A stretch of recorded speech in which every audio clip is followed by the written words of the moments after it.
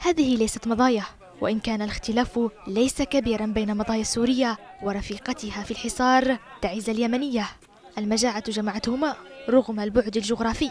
أصبحت أجساد أبنائهما تكشف للعالم كيف يمكن للإنسان الموت جوعا وكيف تكون حياة ملايين البشر مرهونة بأيدي من كانوا يحكمونهم يوما ما ليقتلوهم اليوم بسلاح الجوع. في تعز يكبر الأطفال أعمارا طويلة فوق أعمارهم يفهمون الوطنية مبكرا. تكتشف ذلك حين تكون إجاباتهم عند السؤال مختصرة بهذه الكلمات. وقف الحرب إن شاء الله ليرجع السلام والأمان كما كان وترجع البلاد كما كانت.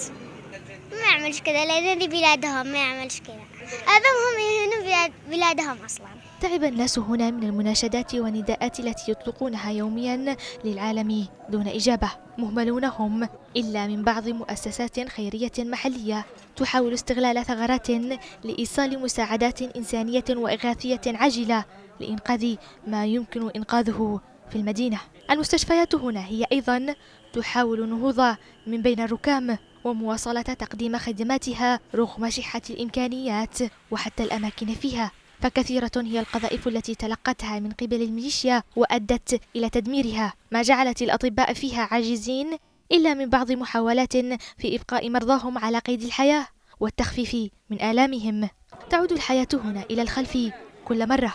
تتفشى الأمراض وتزداد المآسي. تستمر الحرب في القضاء على كل جميل. ولا جديد إلا في انتظار انفراج قادم للمدينة المهملة.